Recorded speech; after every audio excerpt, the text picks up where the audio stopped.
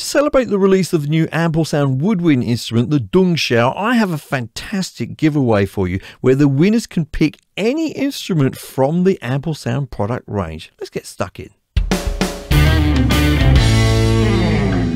Hi folks, I'm Mike and I hope you're well. Now, as I mentioned in the intro, Ample Sound have just released a new Chinese woodwind instrument called the Dongxiao. It's absolutely wonderful, and to celebrate, I have three full licenses to give away for any Ample Sound product. So it doesn't have to be this instrument, it could be any Ample Sound product of your choice if you happen to be one of the three lucky winners. I'll be talking at the end of this video about how you enter for that. Don't skip forward, that's not nice. First of all, let's take a look at this new woodwind instrument. I've put together a quick demo with this instrument and a handful of other Ample Sound instruments as well so you can get a bit of a taste of what can be done with it. Only took me a couple of hours to make it. Really, really sort of scrappy, quick to put together, but it will give you a good idea of what it's capable of. Then after that, we'll take a look at this instrument in a little bit more detail. And as I say, stick around to the end of the video because then I'm going to tell you how to enter for one of these great prizes.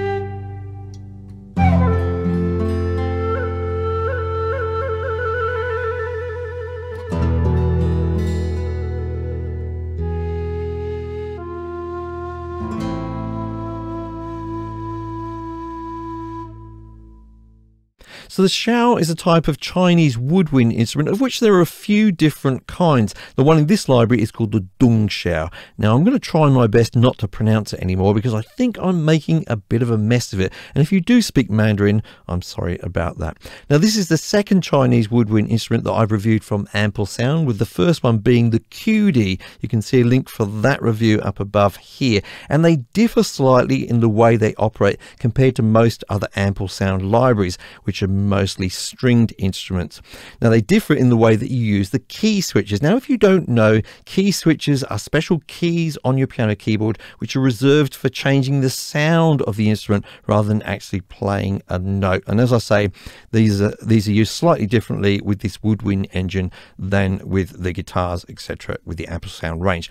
But before we get into that, let's just have a quick listen to the basic sound, the sustain sound, okay? It sounds like this.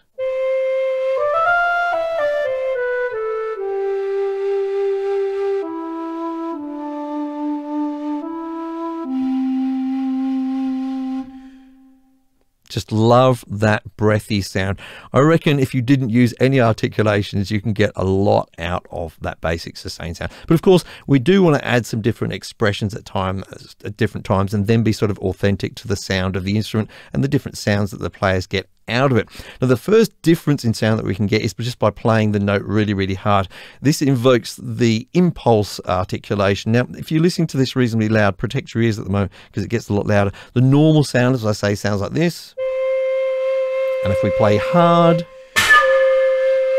we get that really aggressive attack um, to the note. Can be very very useful at times. Now in terms of other articulations if we look on the UI here we can see at the lower end of the keyboard we have another a number of notes which are colored either in blue or in yellow. We look at the blue ones first. These are the regular key switches which we get with most um, other instruments. And normally we sort of use them by playing them at the same time as a note in our melody So I was using that pentatonic up key switch down there, right down there on that D. Now, in actual fact, technically you have to play that note ever so slightly before, well, sorry, the articulation has to be played ever so slightly before the note, okay? If we play the note first and then press the articulation key, there's obviously no change to the sound at all. So we have to make sure we play that first to get that pentatonic up in this case. Okay. Now, in terms of other articulations in that lower end, we'll just go through a few of them, not all of them. We have our sustained sound. We have grace up, grace down, that pentatonic up, pentatonic down. This ripple sound, long trembling, that impulse again there scattered up and a few more there. So as I say, the important thing here is that we do make sure that we play um, the key switch just before we play the note. Now, it gets really interesting with the other keys, with the yellow keys, because with those we don't actually actually have to play them before the note. We can play them during the note. So if we're playing a long note, um, we can change the sound of it while we're playing it. Okay, this gives some really interesting sort of um, articulations and, and um, opportunities for expression. So.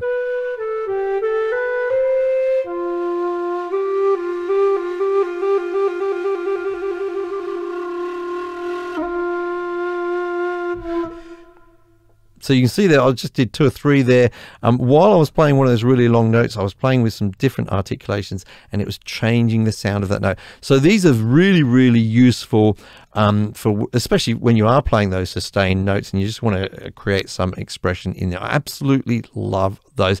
That's a very basic overview of those key switches. We also have some sort of special effects and things up here on the on the green keys.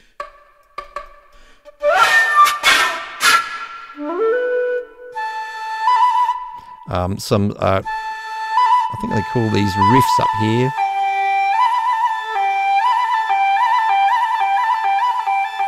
Really cool stuff there. So we get those basic sort of uh, the mix of the uh, sustained notes and then all of the key switches.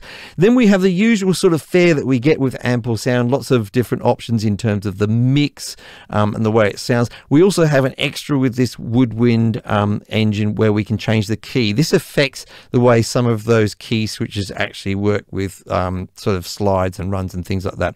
Um, then we also have a mixer so that we can blend the sound of sort of like the breaths and the wind, special effects, that kind of thing. So that's kind of regular thing that we will get um, with ample sound.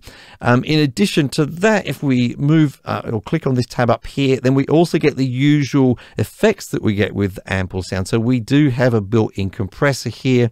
Um, we also have an equalizer here. We then have this one, which is the echo effect or a delay effect, which is on at the moment.